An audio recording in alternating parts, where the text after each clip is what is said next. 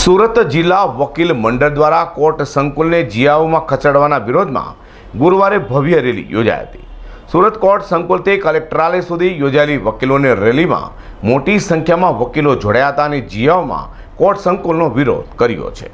સુરત જિલ્લા ન્યાયાલયને જિયાઓ બુડિયા ખાતે ખસેડવાના નિર્ણય લઈને વકીલ આલમમાં ભારે નારાજગી જોવા મળી છે.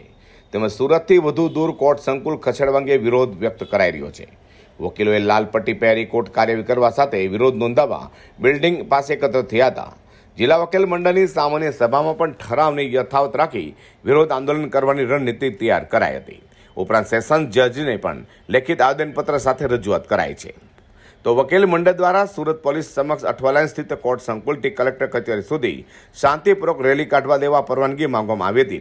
જે પરવાનગી મંજૂર થયા બાદ આજે, એટલે કે ગુરુવારે બપોરે વકીલોએ કોર્ટ સંકુલથી જિલ્લા કલેક્ટરેટ સુધી રેલી કાઢી હતી.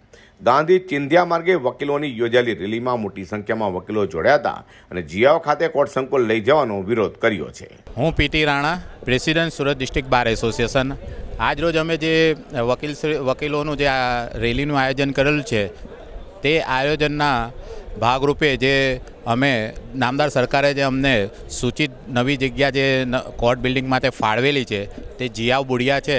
એ જીયાવ બુડિયામાં તે જગ્યા ઉપર અમો, જવા માટેનો અમારો વિરોધ છે અને એ વિરોધ માટે અમે વારંવાર દરેક ઓથોરિટી આગળ રજૂઆત કરેલી છે અને લેખિતમાં આવેદનપત્ર પણ આપેલું છે.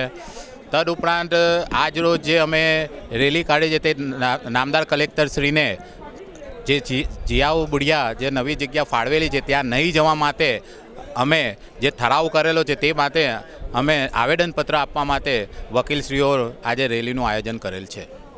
સુરત કોર્ટ સંકુલ જીવા ખાતે લઈ જવાને લઈને વકીલો ઘણા સમયથી વિરોધ નોંધાવી રહ્યા છે. ત્યારે ગુરુવારે યોજાયેલી વકીલોની રેલીમાં મોટી સંખ્યામાં વકીલો જોડાયા હતા અને તેમાં પણ ખાસ કરીને જુનિયર વકીલોએ આ રેલીમાં જોડાઈ વિરોધ કર્યો હતો. અઝર કુર્સી સાથે હર્ષદ સેઠા